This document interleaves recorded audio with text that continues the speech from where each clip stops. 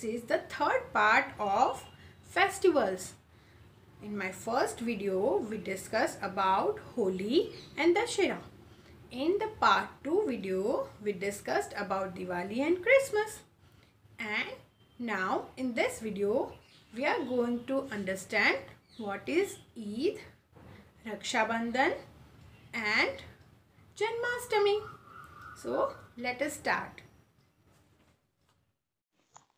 Now, children, we will understand about the festival of Eid.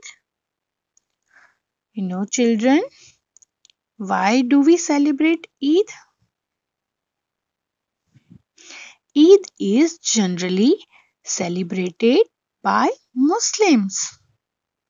It is the festival of Muslims because they follow the Arabic calendar. And Ramzan is the name of the month of their calendar. Eid is celebrated at the end of this month.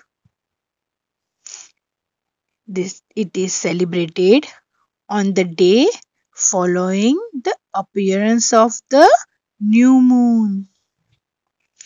And you know, children, an important part of the Eid celebration is community prayer,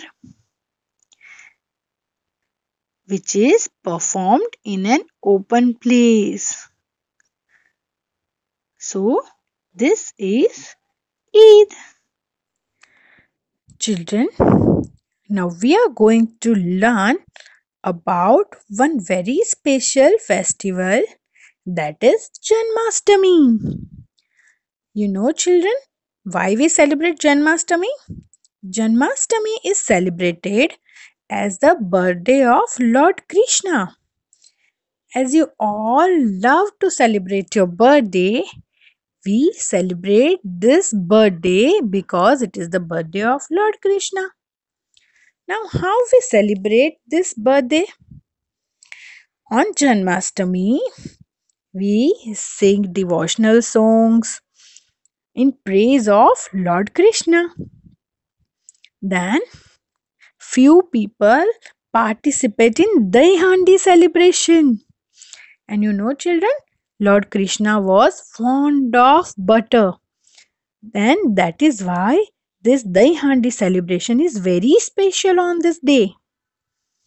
You know, there are special ceremonies in the temple in welcome of Lord Krishna. And at home also people celebrate Lord Krishna's birthday.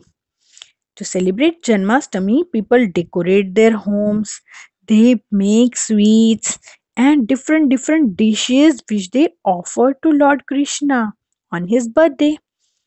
And you know, it is a very special day for those who worship Krishna. So, this is Janmashtami festival. And now, children, we are going to learn about Raksha Bandhan.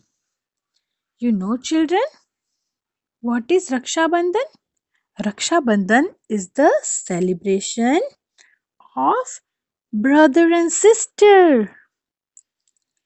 Yes, Raksha Bandhan is celebrated on the full moon day of Hindu month Shravan. You know, the Shravan month generally falls in July and August. This festival is celebrated for the love of brother and sister. You know, but what is Rakhi and what is Raksha? Raksha means protection.